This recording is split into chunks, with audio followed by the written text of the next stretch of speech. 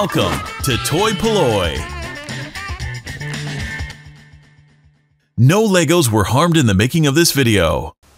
Hello and welcome to another video from Toy Polloi. Now today we're going to take a look at fixing up a vintage Mego CHiPs, Ponch and Jon. In front of me you can see I have Ponch and Jon both in a little bit of a sort of sorry state. It looks like the baddies have got the better of them, but both of them should be restorable. So let's take a closer look at what needs doing and what we've got to fix to get these two guys back up and running. First up, I think the uh, obvious thing is that they've both got broken legs or bits of their legs missing. If we look at Jon here, he has got a foot missing, so that's a fairly easy thing to uh, sort out.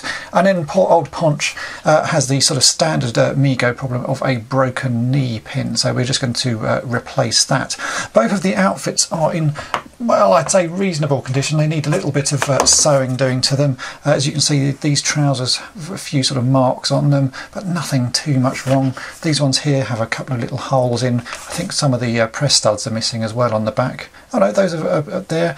So again, it's just a bit of a clean. There's a few holes along seams and things that we may be able to sort out.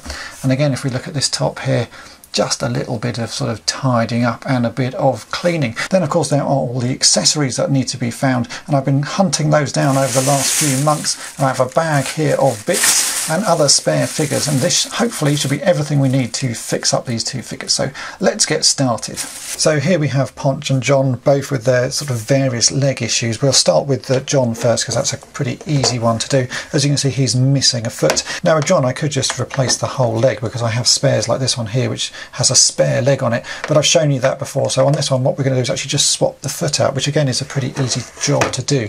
If you look at the feet they're held on just by a little sort of pin and you can actually push those out pretty easily. I've got a pair of tweezers here which have a sort of a larger end to them and just by pushing on the pin you can see there that the little plastic pin comes out and uh, that's all you need to do if we push that out you can then remove the foot like so and we can just swap that one straight back on here just line it up so that the, the hole is lined up and then push this little plastic pin back in place. If you don't have the plastic pin I'm sure there's a bit of Lego that uh, would fit but again if you have a sort of spares bag, there tend to always be these little uh, ankle pins lying around. There you go, so that's Jon fixed. He now has his foot replaced. Now poor old Ponch has the other sort of common issue with the legs and that is the pin that holds the knee joint together has broken. The pins are made up of two parts. You have a little sort of outer post like that and this inner one that sort of clips inside and what happens is the end of these snap off. And again if you've got a bag of uh, sort of spare parts you can normally salvage a pin uh, which is what I've done here. Now the only problem I find with uh, Ponch is that he's a slightly different shade of plastic. He's obviously got a sort of a darker tone to him than the sort of more Caucasian colour. You can see there's a slight change in the, the sort of colour of the legs.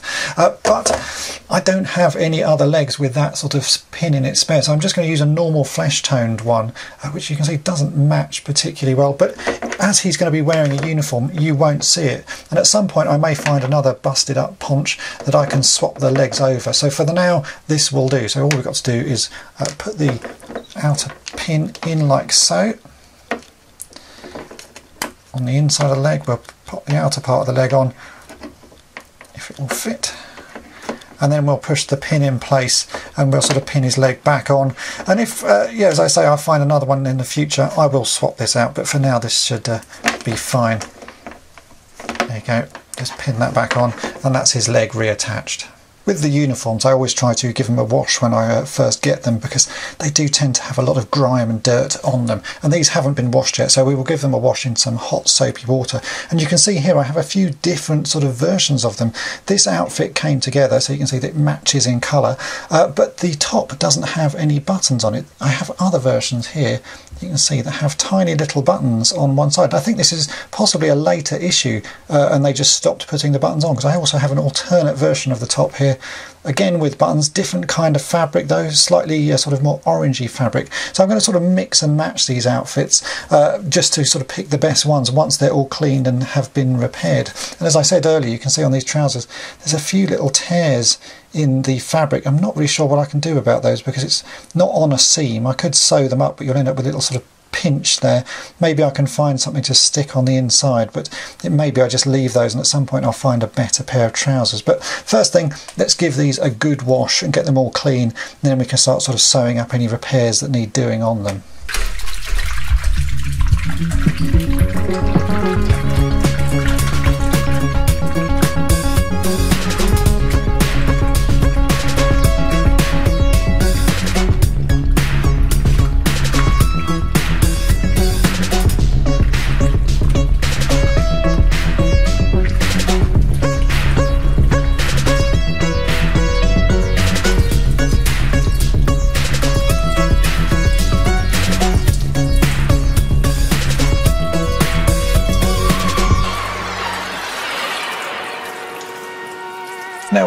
These Mego figures you suffer with the standard problem of getting the grey faces or grey heads.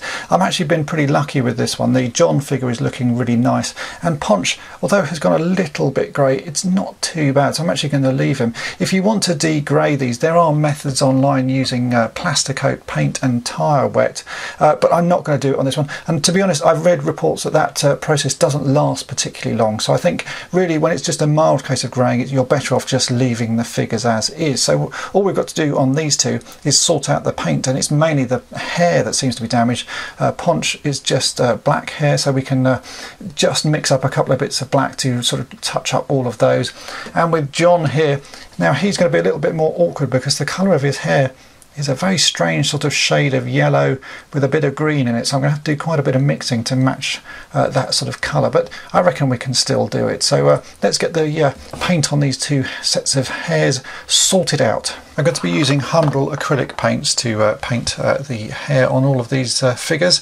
And for Ponch because his hair it's fairly glossy, but it's not really a gloss finish. I'm going to do my standard trick of mixing two paints together. I have 21 black and 33 black here. 21 is a gloss black and 33 is a matte black. And if you mix the two together, you'll end up with a finish that matches this sort of shine that uh, we have here on Ponch. So I've already mixed these up, so I'm going to grab a bit of both and just mix them together.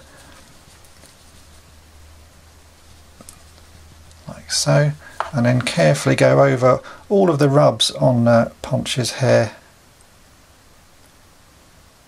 and he'll end up looking as good as new.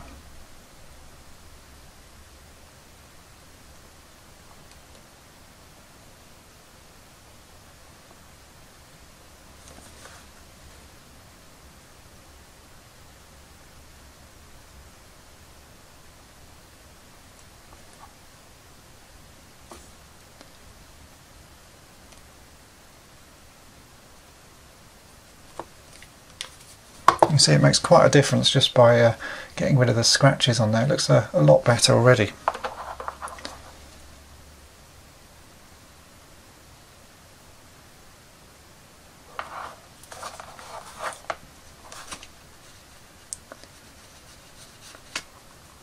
Now Jon's hair has proved a little bit of a problem because it's a really strange colour. It's a sort of yellowy green colour. So I've actually ended up having to mix four colours together to get a match. I've used some uh, sort of bright yellow, which I think is 99. It could be 66 because they don't put a dot on these bottles. I've got 81, which is a sort of muted sort of dirty yellowy grey. I've got 22 white which is gloss obviously to give it a little bit of a sheen and I've also got a bit of 30 which is a dark green and mixing all of those together I've managed to make a colour. You can see here this is the sort of shade of uh, Jon's hair. If I just paint this onto some of the scratches on the front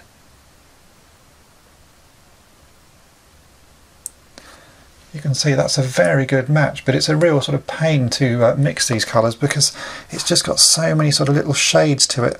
So I think when you come to do this yourself you just have to sort of go by eye and you may have to mix something uh, that sort of uses a lot of different colours to get the result you want. But uh, as you see you can do it. it just takes a little bit of mixing. But that's actually a pretty good match. Now I'm going to uh, get all of these scratches done. I think no one will notice that it's uh, been touched up at all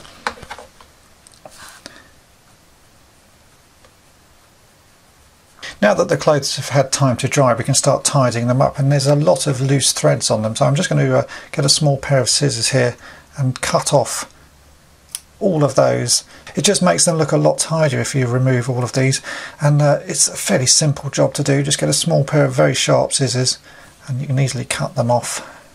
Just go around every sort of area that you see them and uh, remove them. There you go, that's that one done.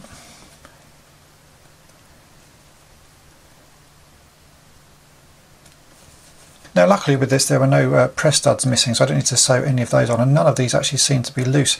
Uh, the one pair of trousers I was a bit worried about with these ones that have tiny little tears and I've actually put them on the figure just to test and the boots cover the worst tear which is down here on uh, the leg so I'm actually just going to leave them. You can see here there's a little bit of damage on the back. It may have been a moth or something has uh, had a go at these because the fabric is fairly sort of uh, well, it just feels fairly thin there. So for the moment, I'm not going to do anything with these trousers because that area is hidden. I think once they're on the figure, they should look fine. But hopefully in future, I will find another sort of replacement set of these. So I'm just going to put the best of the outfits on the two figures and then we can start getting all of the accessories together. So they're already starting to look quite good now that the uniforms are back in place and all clean and their hair is all painted. But the uniforms are missing some key features and that is the little badges and stickers that were stuck on them originally. Now these figures did come with a sticker sheet and I've tried to track down a scan of it but I wasn't able to. The best thing I found was actually someone had taken a photograph of the sticker sheet. So using that I've taken it into Photoshop and with a little bit of work and sort of messing around I've managed to recreate the stickers as they would have been originally.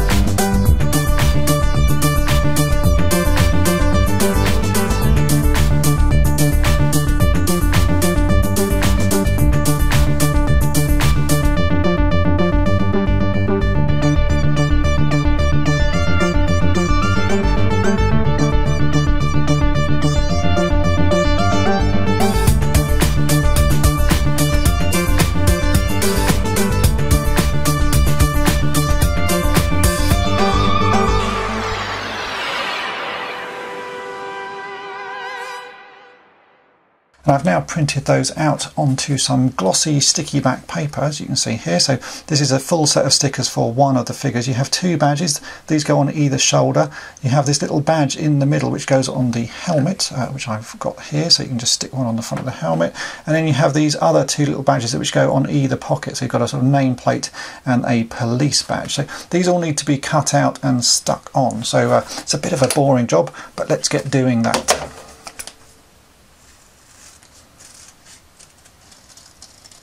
And this file will be available from uh, uh, for you to download for free and print your own because it's obviously something that's going to always be missing on these figures.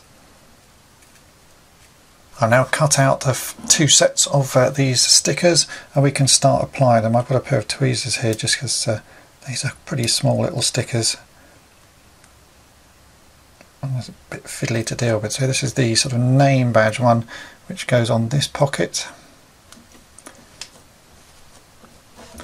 and then we have the uh, badge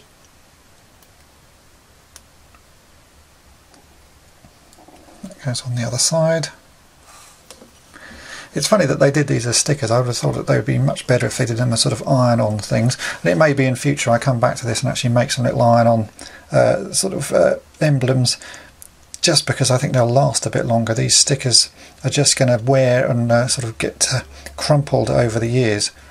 But that's sort of the way they did these things in the 70s. This one's proving hard to take the sticker off. And we have these two uh, California Highway Patrol badges. One goes on each sleeve. Surprisingly basic, but it does actually make quite a big difference to the outfit.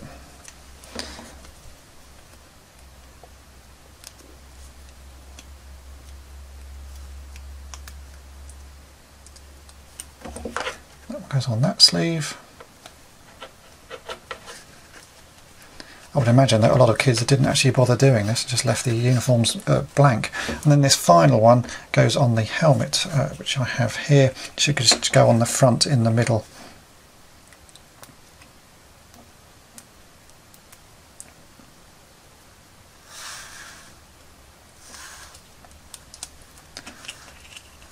Just stick that one on there.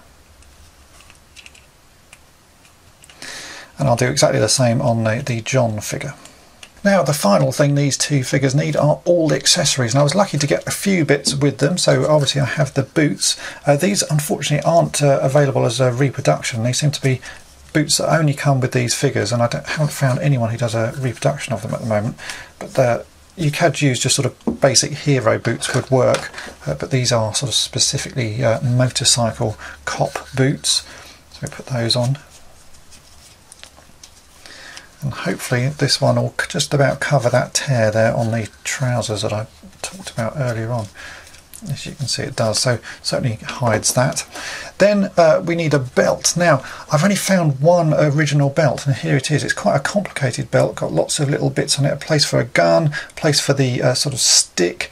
Uh, but uh, this again is not reproduced. So I've so far only been able to find one of these which is a bit of a shame but uh, I will keep on hunting and I have an idea just to sort of make a placeholder thing to go on the other figure. So let's just put this belt onto Ponch. See that uh, sort of starts to finish the uniform off. And for Jon for the moment what I'm going to use is a cable tie I've picked up uh, quite a few of these cable ties for use on various projects and I thought if I just wrap this around his waist at least it will look like he's got a belt on or something and you can use the little sort of uh, sort of tie part of it just to make it look like a holster. And then at some point I hope to find an original belt but uh, for now I think this will just sort of make him look like he's a little bit more finished than he is. So I'm just going to tie that uh, on. Actually quite convincing really. And I'll get a pair of uh, get some plastic nippers out and just uh, nip off the edge of that it's not a perfect uh, solution, but at least it makes him look a little bit more displayable. Then we can move on to uh, the sort of missing final accessories. Now you can get reproductions of a lot of these bits. If you go to the Dr. Mego website, you can buy a pack of uh, guns and uh, bits, and in there you'll find a gun that looks like that, and that is the proper gun that uh, they should have. So I'm going to put that into uh, Ponch's holster there. It, that pack also contains a little watch like this, uh, again, which is the correct sort of watch that they should wear. So I'm going to just clip that onto uh, Ponch's hand there. And a pair of sunglasses. Now I do actually have some original sunglasses here. These are the originals. Uh, but in that pack you'll also get a set of sunglasses like that, which again will do the job for the moment. You can just hopefully just fold those. I haven't actually folded these. Sometimes the plastic looks a little bit weak and might break. But uh, there goes a perfectly reasonable set of sunglasses. And then uh, also off the Dr. Mego website you can get the uh, stick, the uh, I don't know what you call this, nightstick, something like that, which should fit in the belt holster here. Let's just push that in place. He's starting to look pretty good. So we'll put uh, the helmet on Ponch here. Now these helmets are quite rubbery so you can easily fit them over the head. Well, it's a bit of a tight fit, isn't it?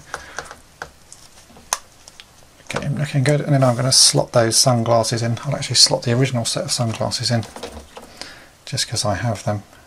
I think this needs a little bit of rearranging. Hopefully I should be able to slot those down the side. And there you go. And I'll put the other accessories on Jon now as well. And here are the finished two figures. They certainly look good enough to uh, put on display here at Toy Polloi. There's obviously a few bits I would like to find to replace, which is I'd like to get a proper belt for Jon and some uh, better trousers because those are, ones are a little bit worn. But overall, they do look really nice, and I'm pleased with the uh, results I've managed to get from uh, the figures I was sent in. So I want to say a big thank you to uh, Scott Greer, who's very kindly sent in the Ponch figure and a load of other Mego dolls, which I have been restoring, and to John Aspinall, who sent in the bare bones of this Jon figure on the right. These sorts of donations are always really much appreciated because uh, it's nice to work on figures I wouldn't otherwise have in my collection. And the uh, sticker sheet for the uh, replacement little emblems on the figures, it will be available from toypolloi.com. So if you want that, go and download that from there. So I hope this video has been of interest to you and thanks for watching. Thanks for watching Toy Polloi. Subscribe for more great videos. You can also follow Toy Polloi on Twitter, Facebook, and Instagram.